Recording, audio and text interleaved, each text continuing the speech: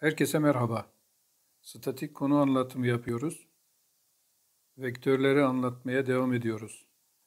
İki vektörü vektörel çarpımla çarptığımız zaman sonuç bir vektörel büyüklüktür. P ile Q'nun vektörel çarpımını yaptığımız zaman elde edeceğimiz vektör hem P'ye hem de Q'ya diktir. Yönü sağ el kuralıyla bulunur. Sağ elimizin dört parmağını birinci vektör P yönünde tutuyoruz. Avucumuzun içini ikinci vektöre doğru döndürüyoruz. Avucumuzu kapattığımız zaman baş parmağımız P ile Q'nun vektörel çarpımı olan R vektörünün yönünü gösterir. Vektörel çarpımda elde ettiğimiz sonuç vektörel bir büyüklüktür. Bu vektörel büyüklüğün şiddeti de P çarpı Q çarpı sinüs teta'ya eşittir. P ile Q'nun şiddetlerinin çarpımı ve aralarındaki açının sinüsünün çarpımına eşittir. Vektörel çarpımda değişme özelliği yoktur. Çünkü P ile Q'yu yer değiştirirsek elde ettiğimiz vektör yön değiştirir. P çarpı Q, Q çarpı P'ye eşit değildir. Şiddetleri eşittir fakat yönleri zıttır. Vektörel çarpımda sadece dağılma özelliği vardır. Yani parantezi açabiliriz. Q ile R'nin toplamını P ile vektörel çarparken P ile Q'nun vektörel çarpımı artı P ile R'nin vektörel çarpımı şeklinde yazabiliriz. Vektörel çarpımı bir de dik bileşenler cinsinden bulalım. Nasıl bulacağımızı görelim. İlk önce IJK cinsinden yazıp parantezleri dağıtabiliriz. Bu bir alternatif. Parantezleri açarken yine skaler çarpımda olduğu gibi birinci ile birinciyi, birinci ile ikinciyi, birinci ile üçüncüyü bu şekilde 9 terim elde edecek şekilde parantezleri dağıtabiliriz. Tabi burada yine karşımıza birim vektörlerin çarpımları çıkıyor. O halde onları nasıl yapacağımızı görelim. Mesela i ile i'nin çarpımı nedir? Neye eşittir bakalım. i ile i'nin çarpımı yine bir vektördür. Fakat şiddeti nedir?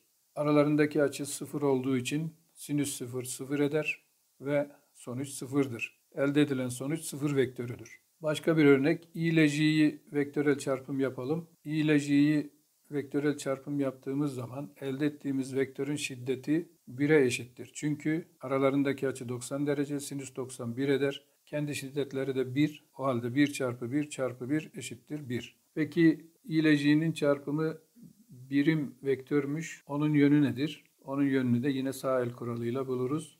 i ile j'yi vektörel çarpım yapınca Sağ elimizin dört parmağını i yönünde tutarız. Avucumuzu j'ye döndürürüz. Avucumuzu kapattığımız zaman baş parmağımız k'nın yönünü gösterir. Demek ki i ile j'nin çarpımı k'ya eşitmiş. Bu 9 alternatifin neye eşit olduğunu şekilde gösteriyoruz. Sağ el kuralıyla bulabileceğimiz gibi sağdaki çember vasıtasıyla da kolaylıkla bulabiliriz.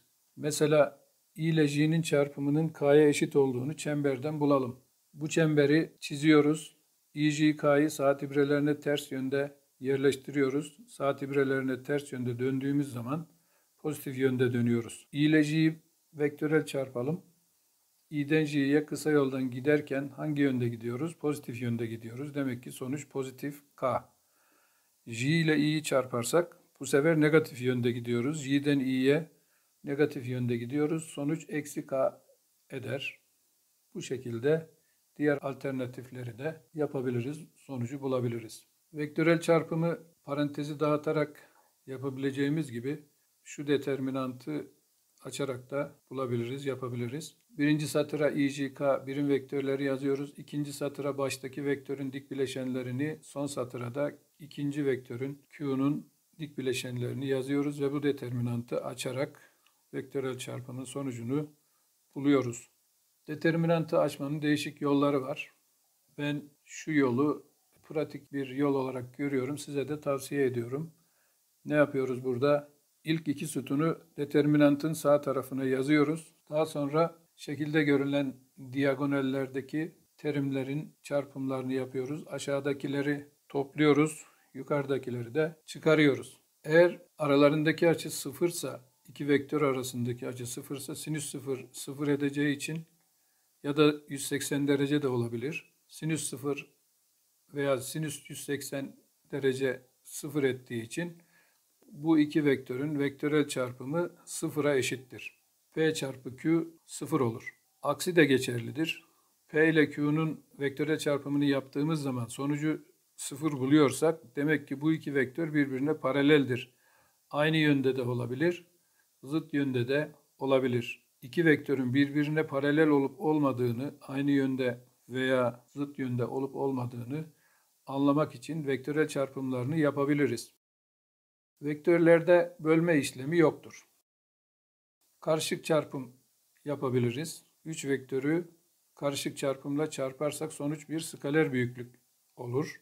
P, Q, R vektörlerini karışık çarpımla çarpabiliriz. Karışık çarpımda bir vektörel çarpım bir de skaler çarpım var. Burada P ile Q'nun vektörel çarpımını yapınca bir vektör elde ederiz. Onunla da R'yi skaler olarak skaler çarpımla çarparız. Önce skaler çarpımı yapamayız. Çünkü skaler çarpımı yaptığımız zaman sonuç bir skaler olur. Q ile R'yi skaler çarpımda çarpsak oradan elde ettiğimiz skalerle P'yi vektörel çarpım yapamayız. Dolayısıyla burada paranteze gerek yoktur. Karışık çarpımı determinant vasıtasıyla bulabiliriz. Karışık çarpımı yaparken vektörlerin sırasını bozmadan birinci satıra birinci vektörün dik bileşenlerini, ikinci satıra ikincinin, üçüncü satıra da üçüncünün dik bileşenlerini yazarak bu determinantı oluştururuz ve açarız. Bu determinantın sonucu skaler bir büyüklüktür. Şimdi PQR'nin karışık çarpımını tekrar göz önüne alalım. Baştaki P ile Q'nun vektörel çarpımı yapıldığı zaman oradan bir vektör elde ederiz. Skaler çarpımda değişme özelliği vardır. Dolayısıyla bunu R'nin sağ tarafına atabiliriz. Skaler çarpımın özelliğinden faydalanarak bunu yapabiliriz. Sonuç değişmez. Bunları determinant şeklinde yazacak olursak sol taraftaki PQR birinci satırda P, ikinci satırda Q, üçüncü satırda R şeklinde yazılır. Sağ taraftaki de birinci satırda R, ikinci satırda P, üçüncü satırda Q şeklinde yazılır. Bunları birbiriyle kıyaslarsak ne fark var? En alttaki satır en üste çıkmış. Yani iki defa satır değişimi yapılmış. Bir determinantta iki satırın yeri değiştirilirse işaret değişir. Ama iki defa değiştirilirse işaret geriye eski şekline döner. Burada yapılan odur.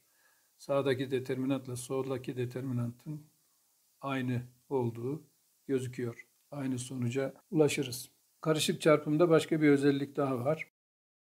Vektörel çarpımda skaler çarpımın yeri değiştirilebilir. Sonuç değişmez. Nasıl olsa karışık çarpımı determinantla yapıyoruz. Determinantta da P, Q, R'nin satır sırası değiştirilmezse sonuç değişmez. Hoşçakalın.